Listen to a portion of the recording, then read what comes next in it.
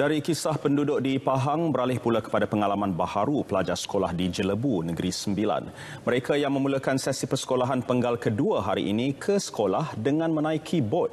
Bot kepada 26 pelajar di kampung Bemban itu disediakan tentera darat. Ini berikutan jambatan kampung tersebut runtuh akibat banjir pada 18 Disember lalu. Seawal pukul 6 pagi lagi, anggota dan pegawai dari Batalion ke-15 Regimen Askar Melayu Diraja RAMD menjalankan khidmat bakti membawa pelajar terbabit menyeberang Sungai Teriang.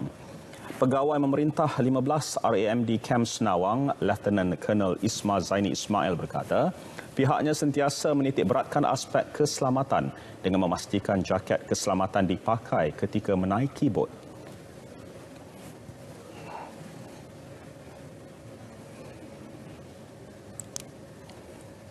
Dalam tu memang kita ada life jacket, semua kita ada. Life jacket kita ada saiz dewasa dan juga saiz kanak-kanak.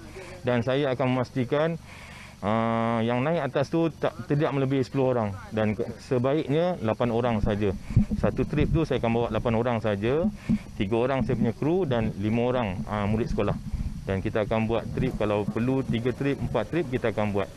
Dan kita akan selalu menitik beratkan tentang keselamatan. InsyaAllah. Ibu apa tak perlu risau. Sementara itu, menurut Ketua Unit Sektor Pengurusan Sekolah PPD Jelebu, Anwar Rahim, tiga buah van disediakan untuk mengambil dan menghantar pelajar di kampung terlibat yang terjejas banjir sehingga jambatan sementara siap dibina.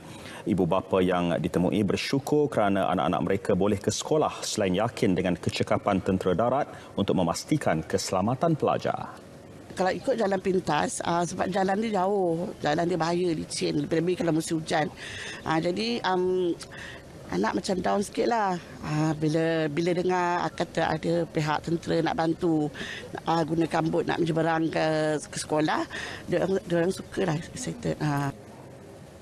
Dia sangat teruja lah. Dia kata tak pernah naik dan nak rasa lah nak naik uh, bot. Uh, tapi dalam macam tu dia ada takut dia kata tak bahaya ke? Memang bahaya cakap. Tapi dia, uh, ATM akan sediakan jaket keselamatan uh, dengan uh, apa?